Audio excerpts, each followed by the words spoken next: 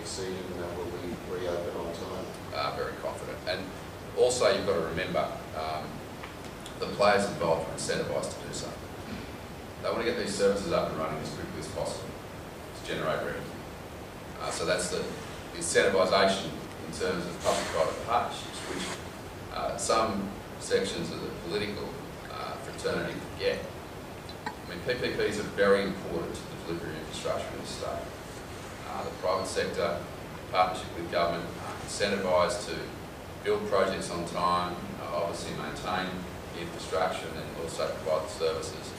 Um, is a very sensible model uh, and uh, in that regard uh, they're uh, incentivised to get on with the job. But as I said, um, this is not as complex as people are saying in a big infrastructure build sense because the tunnel's there, the rail and as well. So, you know, there's some conversion absolutely, but the vast majority of the time in that seven month period of closure is very much testing and running the vehicles to make sure it's safe. Another question is, what's the government